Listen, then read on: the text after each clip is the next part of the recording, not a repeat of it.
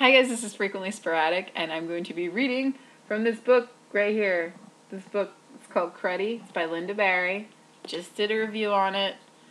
If you didn't see the review, watch the review. Um, I'm gonna read. I think I usually. I, you know what? Let me do what I usually do. I'm gonna pick a page at random.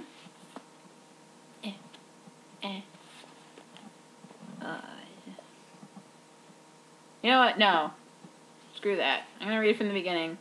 I said I was gonna read from the beginning of my last video, and I'll hold true to that.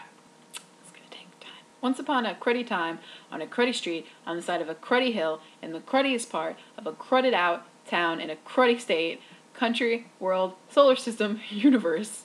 Once upon a cruddy time, behind a cruddy black cat lumber, on a very cruddy mud road, which bubbles up very weird smells, the evil genie themselves up through the cruddy dark rain and into the yellow lit up window of the cruddy top bedroom of a cruddy rental house where a cruddy girl is sitting on a cruddy bed across from her cruddy sister who I will kill you if you touch this, Julie, and if you do, I swear to God, I will kill you. No mercy, no takebacks, private property. This means you, Julie, you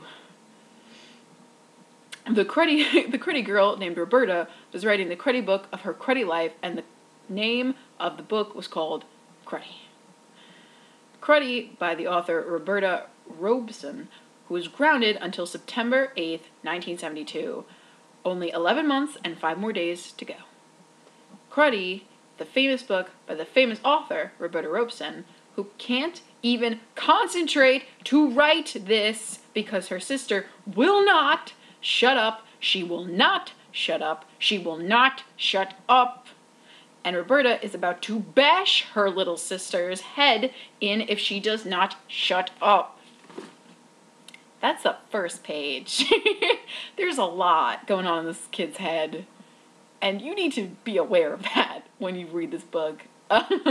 Just saying. That was Cruddy. That was the first page of Cruddy. So, yeah. Enjoy.